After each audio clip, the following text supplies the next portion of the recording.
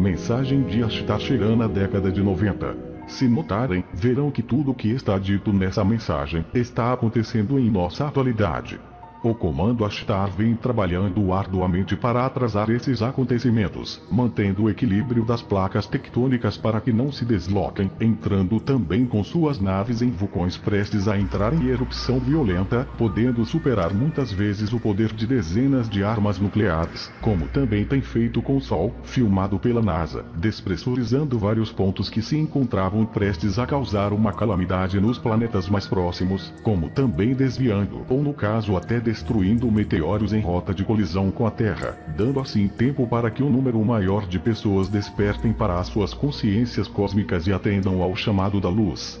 Mas chegará um momento em que todas essas transformações citadas na mensagem terão que acontecer para que o planeta seja limpo, purificado de tanto ódio, destruições, desequilíbrios físicos e espirituais da humanidade e principalmente de governantes inescrupulosos que levaram a muitos a cometerem os seus crimes contra a natureza e a vida em geral tanto quanto contra as leis divinas.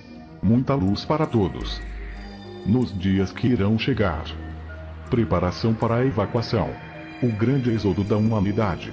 Gostaríamos de chamar a atenção de vocês para as erupções vulcânicas recentemente ocorridas no Egito e na Colômbia. 1. Custou muitas vidas e desabrigou muitos. Isto pode ser um exemplo para vocês avaliarem o que poderá ocorrer no futuro. Estes são dois acontecimentos isolados, mas com o decorrer do tempo, se tornarão frequentes e ocorrerão em diferentes pontos da Terra. 2. A imprensa mundial ficará dia e noite ocupada em informar a todos sobre as calamidades em todo o globo. O estado de desequilíbrio interno que a Terra se encontra será o responsável pelas erupções vulcânicas em certos lugares, e em outros como tremor de terra. Furacões precipitarão ondas gigantescas que modificarão o solo debaixo dos oceanos. Continentes desaparecerão totalmente, alguns parcialmente, outros novos emergirão. O pânico estará por todas as partes, o ser humano ficará sem saber como se salvar, para onde correr ou para quem se dirigir, pois nesse momento, muitos pedirão a ajuda de Deus. Neste momento o céu ficará repleto de naves de outros planetas. Como sabemos, o perigo existe de uma nação ou de um grupo precipitar uma catástrofe nuclear. 3. Se não houver uma intervenção de Jesus o Cristo, o planeta será destruído por completo. Se uma situação como essa chegar, haverá antes dos acontecimentos uma mensagem telepática que será entendida por muitos, que com o passar do tempo desenvolveram essa capacidade de comunicação, avisando sobre uma evacuação de emergência. O tempo que teremos entre a ordem de evacuação e a ação dela será muito curto. No momento em que se tem início o salvamento, o céu escurecerá devido à massa de naves extraterrestres que sobrevoarão o firmamento. O plano de evacuação da Terra é um projeto grandioso e detalhado, um sistema bem organizado e estamos prontos para executá-lo. Nós observamos o perigo de uma mudança da polaridade terrestre. 4. Isto causaria a devastação da raça humana por completo. Nesse caso, haveria uma evacuação. A hora X pode ocorrer a qualquer instante, do momento em que nos for dada a ordem para entrarmos em ação de salvamento, o resgate em si passará muito rápido. Usaremos a levitação para transportar as pessoas às naves. Esses raios são de frequência muito alta, mais alta do que vocês estão acostumados na Terra. Uma pessoa muito egoísta, a qual não poupa nada e nem ninguém quando se trata de seus interesses, terá problema em sobreviver se exposta a esses raios. Uma outra que estiver elevada a um grau de amor e altruísmo não terá nenhum problema, pois seu corpo possuirá um campo de força muito maior. Pensem, se for a vontade de seu coração, vocês poderão contar com toda a ajuda espiritual na evolução da sua alma. Ainda há tempo. Seria muito bom se vocês entrassem em contato com outras pessoas sobre esse plano de Deus, se não com todos, pelo menos com seus familiares e grupos de amigos mais chegados. 5. Pensem nisso tudo juntos. Avaliem a vida que vocês levam em relação a si próprios, em relação aos outros, ao meio ambiente e tentem descobrir onde ainda o amor poderia entrar ou se expandir. O êxodo da humanidade acontecerá sem atrasos no momento que houver algum perigo.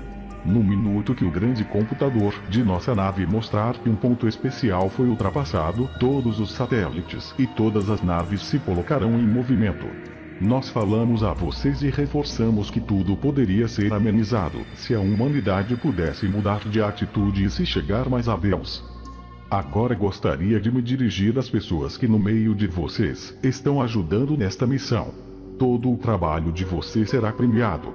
Qualquer tentativa de amor dirigida ao próximo não será esquecida. A recompensa virá. Nós, sob o comando de Deus, iremos tirá-los desse caos e trazê-los para as nossas naves em segurança. Muitos de vocês lendo essa mensagem neste momento irão nos apoiar. O nosso trabalho em conjunto irá ajudar na preparação e no adaptamento de muitas almas quando a hora X chegar. O propósito desta mensagem é para abrir um pouco mais a visão de muitos sobre os próximos acontecimentos, ajudando a informar para evitar pânico na última hora. Alguns pontos básicos que deverão ser observados para o sucesso dessa missão. Todos estão registrados em grupos em nosso computador: nomes, dados gerais, endereço, cidade, país, etc. As frotas e os comandantes responsáveis pelos grupos. 6 todos receberão instruções para sua segurança, para onde deverão se dirigir e a que horas. Ninguém será deixado para trás ou esquecido, a sua participação é segura. 7. No grande êxodos, se houver familiares ou amigos em diferentes naves, isto será reparado logo que nos seja possível. Não entrem em desespero. Sejam agradecidos a Deus. Pode acontecer de pessoas conhecidas ou muito queridas, que não puderam ou não quiseram por vontade própria, serem levadas, por medo ou desconhecimento de nossa existência e a nossa missão, entreguem nas mãos de Deus. Estes serão levados em espírito para uma das moradas do Pai, para um lugar equivalente aos seus pensamentos e estrutura de vida que ele próprio escolheu, e deste ponto começará a subir na sua evolução espiritual. Entendam que foi o caminho que a pessoa escolheu e conseguiu. Claro que no começo vocês sentirão saudades do ambiente que deixaram para trás, mas ao passar algum tempo, vocês irão se acostumar com o novo. Nas nossas naves existe um clima de muita alegria, amor e compreensão. Pessoas ligadas que já foram treinadas por nós irão ajudá-los no começo a se sentir em casa. 8. Essas pessoas serão conhecidas como guias, as quais vocês conheceram antes mesmo da crise, como ajudantes da nossa missão na Terra. Sigam todas as suas instruções para que tudo corra bem. Estamos bem informados sobre os seus costumes, por isso não se preocupem com nada. Temos tudo o que irão precisar durante e depois de suas estadas em nossas naves. Nem escova de dentes será necessário levarem. Providenciamos tudo em detalhes. Um outro pequeno ponto, mas de suma importância, quando chegar a hora X e a voz lhe disser venha, vá. Não haverá espera. Como eu disse, ninguém ficará para trás. Não se preocupem com familiares ou amigos. Todos irão se reencontrar posteriormente. As três fases da evacuação estão programadas em três fases. A missão de evacuação da Terra. A primeira fase será a dos escolhidos, eles simplesmente desaparecerão. Estes trabalharam para espalhar a luz sobre a Terra divulgando a verdade, tornando possível a realização deste programa de salvamento. Serão transportados para um lugar que para eles foi reservado. Os próximos serão aqueles que desenvolveram os seus conhecimentos, os quais tinham ouvidos e escutaram, mantiveram a fé e coragem para entender a palavra de Deus. O porte dessa fase é muito importante, pois o número dessas pessoas é maior do que poderia se imaginar. 9. Todos estes serão levados por pequenas naves à plataforma espacial, que está situada não muito longe do planeta de vocês. 10. A última fase começará quando esses dois grupos estiverem em segurança. Terá então início a evacuação em massa. Nesta última ação, levaremos primeiro as crianças, velhos e doentes e por fim os outros. Devido à pressão etérica muito forte sobre o corpo físico, haverá uma modificação em que todas as doenças e desarmonias físicas desaparecerão. Assim que o planeta for limpo, todos serão trazidos de volta em segurança. No planeta Terra não haverá mais influências negativas em nenhuma esfera. Com a nossa ajuda, a reconstrução será muito rápida e sem mais ofender ou ferir a natureza e ao planeta. Talvez vocês lendo que aqui foi mencionado, na tranquilidade do seu lar, possam pensar que tudo isso é uma coisa impossível ou pura ficção científica, e para muitos, muito ingênua. Embora que as minhas palavras agora possam não ter sentido, elas serão lembradas logo que os acontecimentos se mostrem. Tudo será muito rápido. 11. Deus lhes mostrará o caminho. Um novo amanhã nascerá após a batida da meia-noite. Será então para a humanidade o início de uma nova era de luz na Irmandade, no amor de Deus e de seu Filho Jesus o Cristo. Daqueles que muito vos ama e tão ansiosos quanto vocês para o nosso encontro fraternal no amor do Criador. Confederação Intergaláctica da Luz.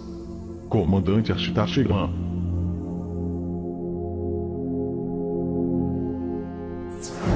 Vitória da Luz.